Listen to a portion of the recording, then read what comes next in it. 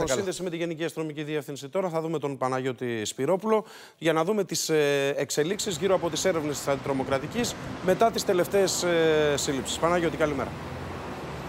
Καλημέρα. Η επόμενη στόχη από ό,τι φαίνεται της αντιτρομοκρατικής υπηρεσίας και των αξιωματικών της είναι 8 ασύλληπτοι συνεργοί τριών ομάδων που είχαν, είχαν πρόθεση, είχαν περάσει σε τρομοκρατική δράση.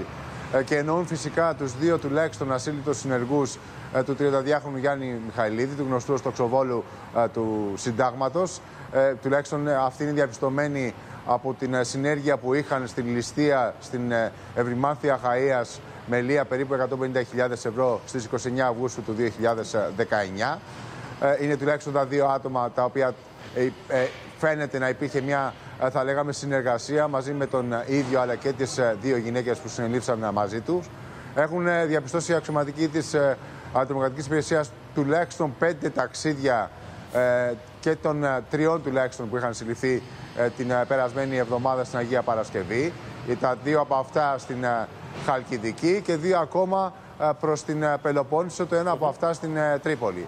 Η δεύτερη ομάδα που τουλάχιστον. αληθεύουν οι πληροφορίες ότι η τράπεζα που θα χτυπούσαν θα ήταν στην Τρίπολη, Παναγιώτη. Ναι, είχαν ένα ταξίδι 10 ημέρες νωρίτερα από την ε, σύλληψή τους στην περιοχή της ε, Τρίπολης. Ε, δεν αποκλείεται την ημέρα της σύλληψή τους να κατευθύνουν προς εκεί προκειμένου να προβούν στην ληστική επιδρομή. Είναι, θα λέγαμε, μια εκτίμηση και εικασία των αξιωματικών της Ατρομοκρατική Υπηρεσίας. Η δεύτερη ομάδα και οι δύο ακόμα ασύλληπτοι συνεργοί, τρεις τουλάχιστον, γιατί πρόκειται και για τον 46χρονο Δημήτρη Χατζηβασιλιάδη, ο οποίος, αν θυμάστε, είναι ο καταζητούμενος τραυματίας μετά από την ε, ληστεία σε κατάστημα τυχερών παιχνιδιών στην, ε, ε, στον Χολαργό, όπου είχαν συλληφθεί δύο άτομα ως μέλη. Βρέθηκε εκεί ένα όπλο ταυτότητα, ένα καλάζικο ταυτότητα της επαναστατικής αυτοάμυνας. Υπάρχουν και δύο ακόμα άτομα τα οποία τουλάχιστον από εκεί υπάρχουν ενδείξεις ότι είναι συνεργοί. Και μιλάμε για δύο και τρία ακόμα άτομα που αφορούν, αν θυμάστε καλά, ναι. την βόμβα με τα καρφιά που είχε τοποθετηθεί έξω από το αστυνομικό τμήμα ζωγράφου, την, ε, όπου η εκτίμηση των αξιωματικών ήταν πως πίσω από αυτή κρυβόταν η εικονακλαστική σέχτα και η νυχτερινή κυνηγή. Δηλαδή, μιλάμε για 8 ασύλληπτους συνεργούς από τρεις τουλάχιστον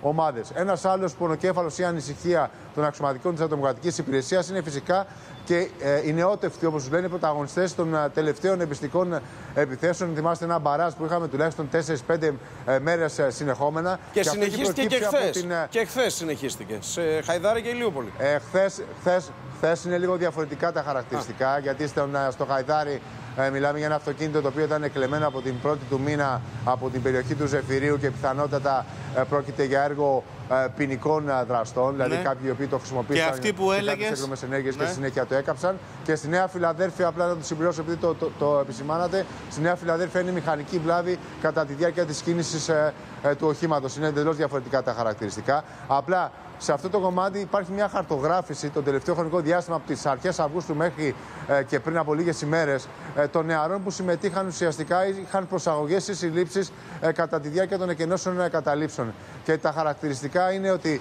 ε, τουλάχιστον το πάνω από το 70% φαίνεται ότι μιλάμε για νέους αχαρτογράφητους πρωταγωνιστές και το τουλάχιστον 30% από παλιούς που έχουν τουλάχιστον απασχολήσει στο παρελθόν.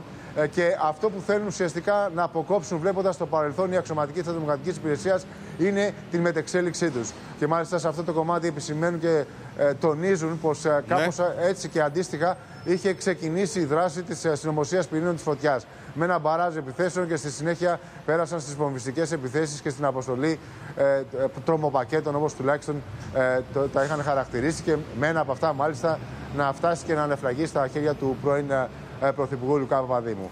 Αυτά τουλάχιστον είναι ναι. τα τρία, θα λέγαμε, στοιχήματα σε εισαγωγικά ε, των αξιωματικών της Ατομοκρατική Υπηρεσίας για το επόμενο χρονικό ε, διάστημα. Ευχαριστούμε πολύ, Παναγιώτη. Να καλά, καλά για το αναλυτικό το ρεπορτάζ.